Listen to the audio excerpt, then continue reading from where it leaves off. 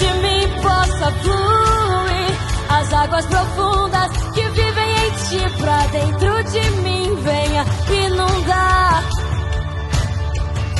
Ei, Pai, que possamos ver o céu descer ou com tua glória nos leve a conhecer o céu com você. Oh, oh.